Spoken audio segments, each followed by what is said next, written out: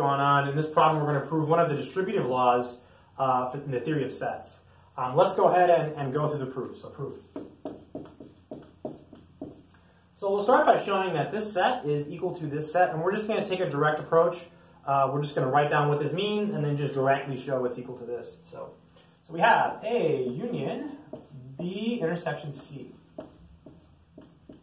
So what is it? What is a union? Let me maybe explain that here. So if you have capital X union capital Y, that's equal to the set of all x such that x is in capital X or x is in capital Y. So there's an or involved. So x is in capital X or x is in capital Y. Right, that's the definition of union.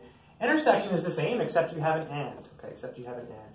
So this is the set of all x such that x is in A and then whenever you see the union, you know you can replace that with an or, right? So or, or x is in B intersection C.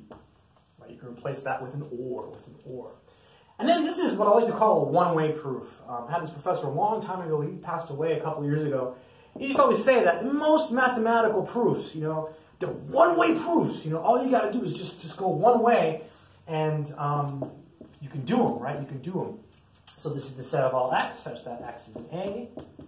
Or, the only thing you can do, right, one-way proof, the only thing you can do is use the definition of intersection. So for it to be in the intersection, it means it's in both. So it means that x is in B and x is in C, right? x is in C. And I'm going to put parentheses here for added clarity. Um, you don't have to put them there. Uh, just as just to emphasize that this came from, from now, in the theory of logic, you have the OR operator and you have the AND operator. And OR distributes over these, right? So this is the same thing as saying x and A or x and B and x and A or x and C. So this is x and A or x and B. And I'm going to underline the and for added clarity. Okay, x and A or x and C, right? Or x and C. And this means that x is in the union. So this is the set of x, such that x is in A union B. And, and then this is x in A union C, right? Whenever you have an or, you can replace it with the union symbol, with the union symbol. So we have x in A union B and x in A union C, and means intersection. So this is precisely the definition of A union B intersect A union C.